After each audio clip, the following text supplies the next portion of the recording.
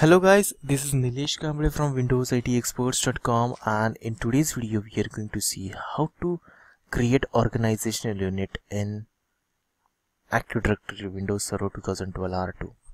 So what is organizational unit? It is the smallest container of your Active Directory which can hold users, groups, computers and uh, etc. objects. So it is also a smallest unit which an administrator can assign group policy settings and account permissions. So delegation can be done for organizational units. So creating organizational unit, it totally depends upon two things that is delegation and group policy. Delegation is the way you want to manage your Active Directory infrastructure, the rights you want to give to administrators, IT guys or helpless users to assign some tasks like uh, creating user accounts, deleting user accounts, reset password, account lockout and blah blah blah. And group policies you if you want to apply some group policies and uh, you want to manage users and computers with the help of group policies. So we have to take care of uh, group policy settings also while creating an organizational unit. So let's go and on my domain controller that is uh, is my domain and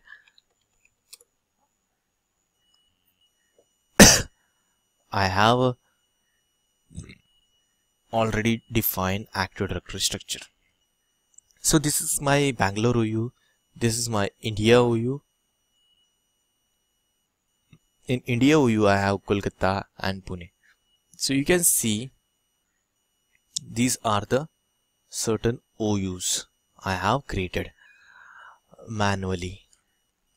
Okay, now I'm going to create a new organizational unit right click on contoso.com go to new go to organizational unit and give new name. I will give Australia. Now in Australia I want to create a new organizational unit that is Sydney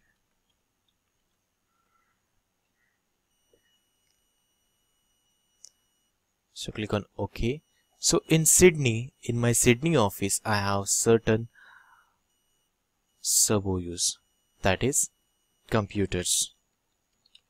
My computers object are located in computers OU then I have users OU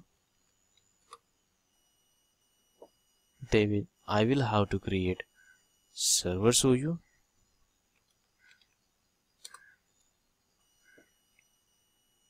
and then?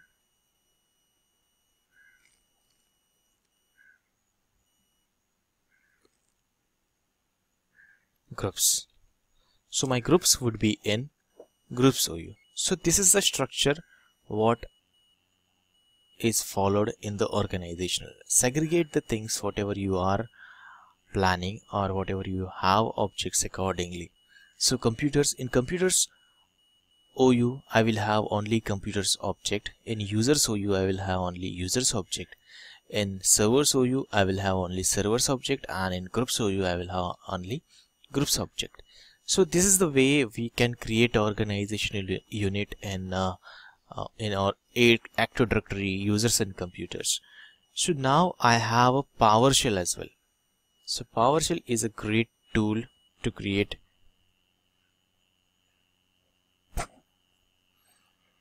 OUs and to do a lot of things. So new hyphen organizational unit. Sorry. AD organizational unit is the command and we can give name that is let's take US I want to create a US OU and uh, path I will give path. Now I want to create USOU as a parent to you in contoso.com domain. So right click on contoso.com properties. I'll go to attributes. I want to copy the DN that is distinguished name.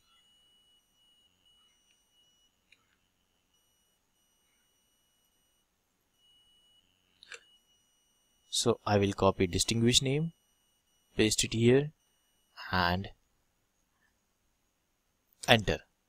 So my USOU is created in contoso.com domain. So let's go to active directory users in computers refresh and you can see USOU is created. So in this way we can create certain sub OUs into my US OU. So I will go to properties, attributes, I'll copy distinguished name, go to PowerShell,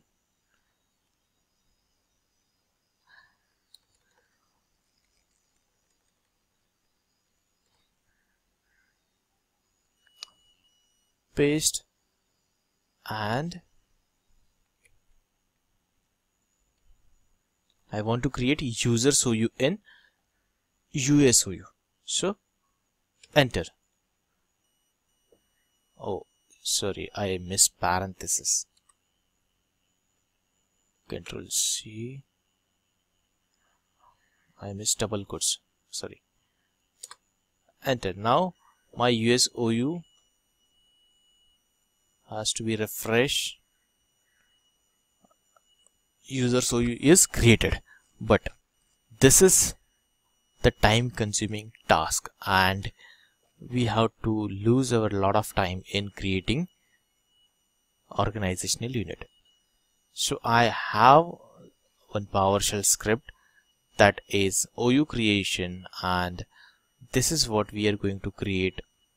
It will create a multiple OUs at the same time.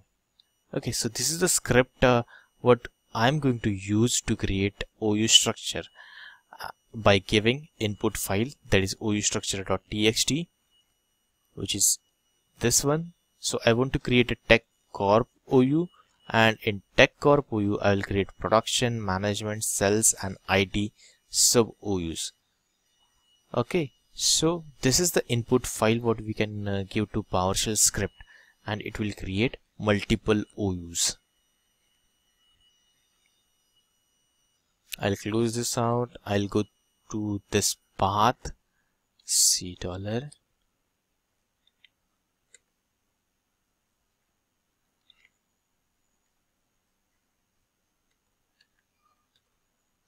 so go to OU creation and I will run this PowerShell script. OU creation dot ps1 press enter. So now you can see my tech corp OU is created.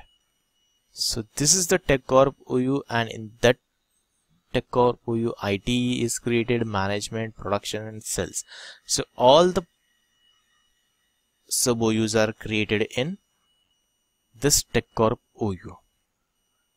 So these are the ways where where we can create a OU structure and uh, most probably uh, organization use script to create organizational units so this is the basic uh, thing what I have shown you in in this video and you can uh, do some tricks to create more in advance so it could be in advanced way we have to look into it because uh, normally while creating sub OUs, OUs, we have to take care of the delegation as well. So we can build or we can add some delegation uh, permissions attributes into the script and we can create the OU structure based on that. So and this uh, script is uh, available on I would like to give credit to